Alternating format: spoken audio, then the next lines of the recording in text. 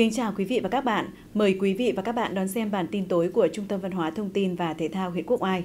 Thưa quý vị và các bạn, nhằm tăng cường công tác xây dựng Đảng và các đoàn thể nhân dân trong các doanh nghiệp ngoài khu vực nhà nước trên địa bàn huyện Quốc Oai, chiều ngày 21 tháng 11, Đảng ủy khối doanh nghiệp huyện tổ chức lễ công bố quyết định và ra mắt tri bộ công ty trách nhiệm hữu hạn xây dựng và phát triển thương mại Lê Gia. Công ty trách nhiệm hữu hạn xây dựng và phát triển thương mại Lê Gia có số vốn điều lệ là 5 tỷ đồng, có trụ sở làm việc đặt tại thôn 6 xã Phú Cát. Công ty hiện có 50 cán bộ công nhân lao động, trong đó có 5 đồng chí đảng viên chính thức.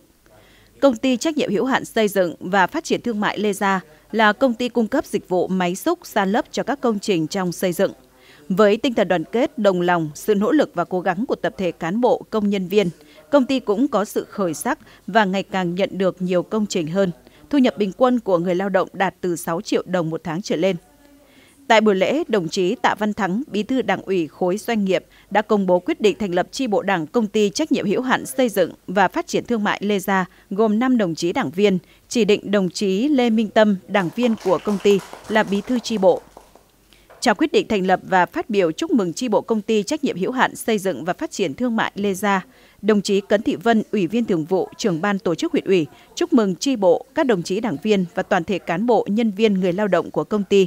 Đồng chí đề nghị tri bộ xây dựng quy chế hoạt động của tri bộ, quy chế phối hợp hoạt động giữa tri bộ với lãnh đạo doanh nghiệp, chương trình công tác nhiệm kỳ 2024-2025 thực hiện nghiêm túc điều lệ đảng, sinh hoạt tri bộ gắn với thực hiện tốt chủ trương, đường lối chính sách pháp luật của đảng, nhà nước, thực hiện tốt công tác phát triển đảng viên, nêu cao trách nhiệm của người đảng viên, xây dựng tốt mối quan hệ với lãnh đạo công ty, cán bộ, công nhân viên trong đơn vị, giúp doanh nghiệp ngày càng phát triển, đóng góp tích cực vào sự phát triển chung của huyện.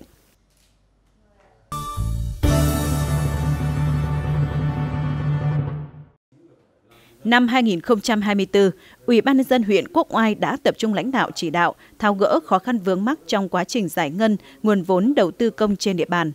Tổ chức đánh giá tiến độ đầu tư theo từng tháng, đánh giá tiến độ thi công các công trình theo tuần, đồng thời cụ thể hóa trách nhiệm đến từng cá nhân trong việc giải ngân vốn đầu tư công. Thực hiện công khai minh bạch kế hoạch đầu tư công năm 2024 theo đúng quy định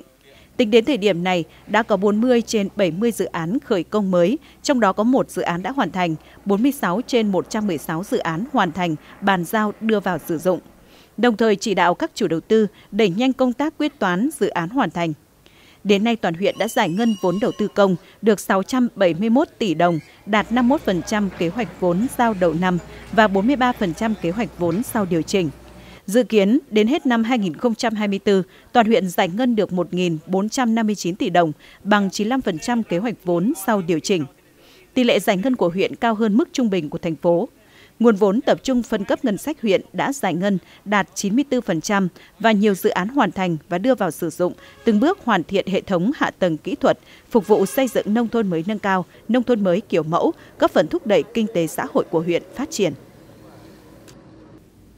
Sáng ngày 22 tháng 11, Hội chữ thập đỏ huyện Quốc Oai tổ chức họp mặt kỷ niệm 78 năm ngày thành lập Hội chữ thập đỏ Việt Nam 23 tháng 11 năm 1946, 23 tháng 11 năm 2024, 67 năm ngày thành lập Hội chữ thập đỏ thành phố Hà Nội. Đồng chí Hoàng Nguyên Ưng, Phó Chủ tịch Ủy ban nhân dân huyện đã dự động viên và tặng hoa chúc mừng.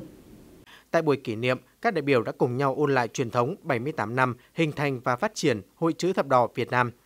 ngày 23 tháng 11 năm 1946 tại Đại hội đại biểu Hồng Thập tự Việt Nam lần thứ nhất ở Vân Đình, tỉnh Hà Tây, nay là Hà Nội, đánh dấu sự ra đời của một tổ chức xã hội nhân đạo quần chúng do Chủ tịch Hồ Chí Minh sáng lập và làm chủ tịch danh dự đầu tiên. Qua 78 năm thành lập, Hội chữ thập đỏ Việt Nam đã không ngừng phát triển lớn mạnh. Đến nay toàn hội từ trung ương đến địa phương có hàng chục ngàn tổ chức với hàng chục triệu hội viên.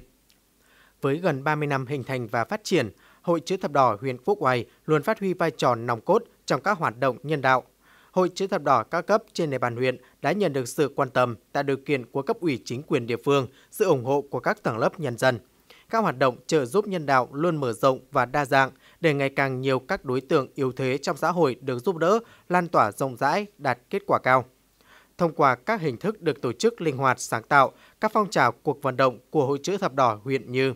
tổ chức chợ Tết nhân ái, phiên chợ không đồng, trao tặng quà Tết cho nạn nhân da cam, người khuyết tật, cựu thanh niên sung phong, người có hoàn cảnh khó khăn, trợ cấp đột xuất thường xuyên, hỗ trợ xây dựng, sửa chữa nhà cho hộ gia đình có hoàn cảnh khó khăn, tặng học bổng, xe đạp cho học sinh vượt khó vươn lên trong học tập,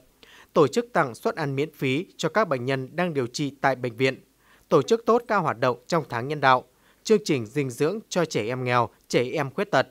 Bên cạnh đó, Hội chữ thập đỏ các cấp của huyện cũng đã làm tốt công tác phối hợp với các cơ quan, ban ngành, đoàn thể, thực hiện có hiệu quả các chương trình y tế dự phòng, khám chữa bệnh miễn phí, tặng quà cho người nghèo, đặc biệt là phong trào hiến máu tình nguyện.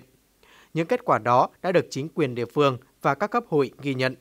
Thông qua các hoạt động nhân đạo từ thiện đang ngày càng lan tỏa sâu rộng, thu hút sự quan tâm của các tầng lớp nhân dân và nhiều tổ chức cá nhân. Qua đó ngày càng khẳng định vai trò, ý nghĩa của công tác từ thiện nhân đạo đối với việc phát triển kinh tế, đảm bảo an sinh xã hội của địa phương trong giai đoạn hiện nay.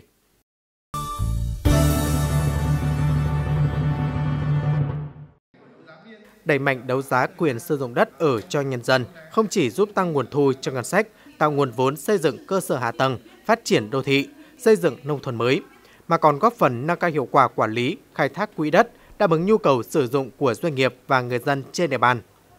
Năm 2024, Ủy ban dân huyện Quốc Oai dự kiến tổ chức đấu giá quyền sử dụng đất tại 7 xã với 11 dự án.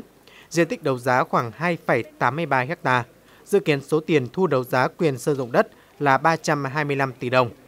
Từ đầu năm đến nay, huyện tổ chức thành công 4 phiên đấu giá quyền sử dụng đất tại 5 dự án với diện tích 9.185 m2. Số tiền chung đấu giá thu được gần 435 tỷ đồng. Dự kiến đến hết năm 2024, huyện tổ chức thêm 4 phiên đấu giá quyền sử dụng đất, số tiền chung đấu giá khoảng 550 tỷ đồng, vượt 70% kế hoạch. Số tiền này góp phần tăng thu ngân sách và bổ sung nguồn lực để huyện đầu tư xây dựng cơ sở hạ tầng nông thôn mới cho các xã. Bản tin tối của Trung tâm Văn hóa Thông tin và Thể thao huyện Quốc Oai đến đây là hết. Cảm ơn quý vị và các bạn đã quan tâm theo dõi. Xin kính chào và hẹn gặp lại.